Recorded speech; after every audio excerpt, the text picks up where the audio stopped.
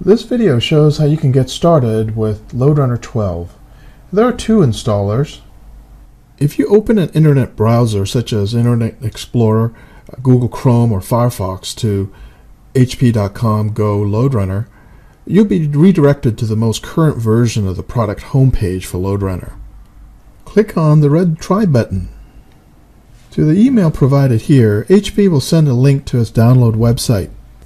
This enables you to later return using your HP Passport.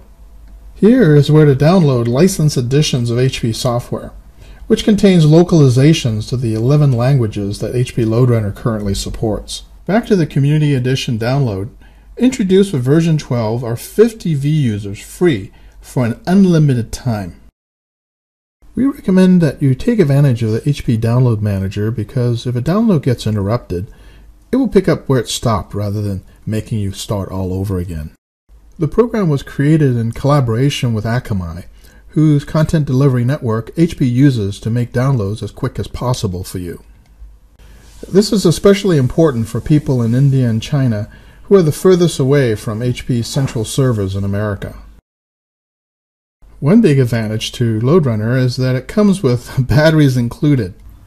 All dependent components are included, so you don't have to struggle hunting down and gluing all the various libraries together.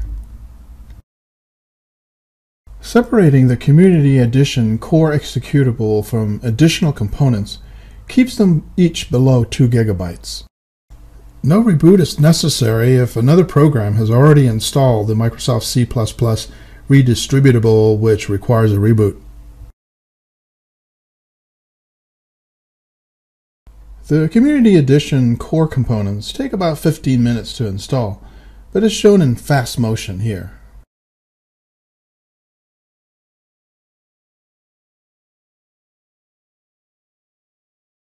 The README file is worth reading to find out what's new and be alerted to installation and configuration information and limitations of the release. The same set of additional components are installed in both community and licensed editions. Features such as these are what make LoadRunner a popular choice. Join us by going to these links for product downloads and to visit communities who want to help you succeed.